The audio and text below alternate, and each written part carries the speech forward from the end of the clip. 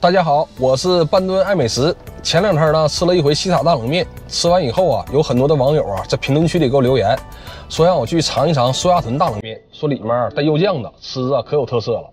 咱呢今天就去试一试。现在啊我们就到了他家呀，有苏家屯冷面。今天呢就不往苏家屯去了，太远了。我导航看了一下，离我最近呢也得需要三十公里。咱呢今天就在他家简单的吃一口。中午饭点过了，人呢不是很多。一碗冷面，一个拌花菜。先把这个冷面酱放里面，这就是苏家屯特色的之一，里面带肉酱的。嗯，我先尝口肉酱吧，看肉酱好吃不？啊，挺咸，不是很辣。拌花菜啊，里面有黄瓜、嗯，花生米、土豆丝、腐竹。辣酱呢，先放这些，给它搅拌一下。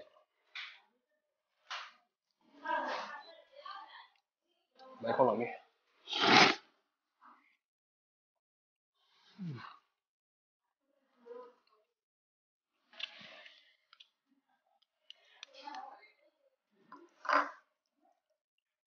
冷面上呢有一层肉酱，看着通红的，实际一点也不辣。冷面呢是现压的，吃着挺筋道。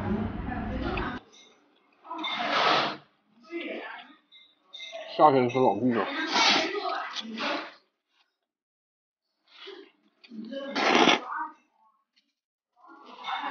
冬天还可以做成热汤的。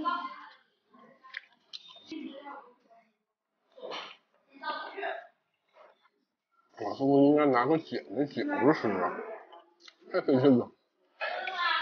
这个肉酱冷面呢，还得是苏家屯做的比较正宗。你看苏家屯有老友鼻，有个叫韩麦的，还有个叫什么的来的，有几家做的都比较正宗。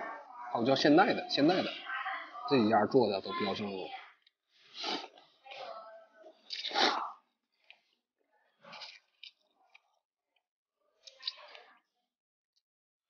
苏家屯离我这太远了，导航最近三多公里，等着有机会的吧，路过苏家屯的，嗯，我带大家来去一次。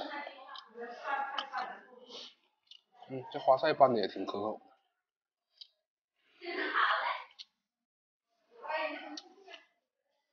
刚才我看着了，他家花菜都是现拌的。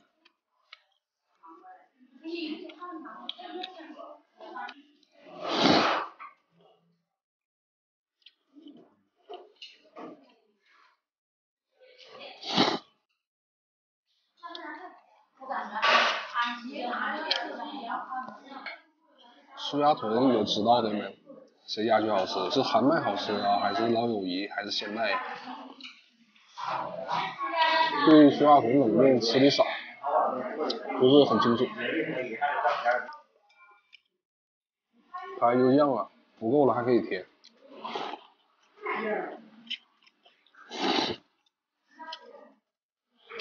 刚开始没敢多放。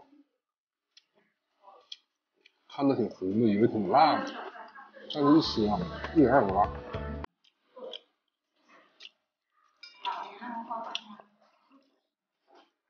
唯独一点就是面呢，稍微有点硬了。我觉得这辣酱拌大米饭应该都挺好吃。嗯。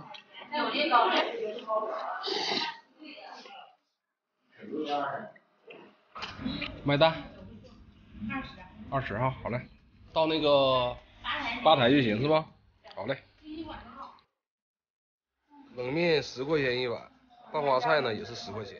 两样啊一共花了二十块钱。我觉得这顿饭吃的还是挺值的挺满足的。这期的视频呢到这就结束了。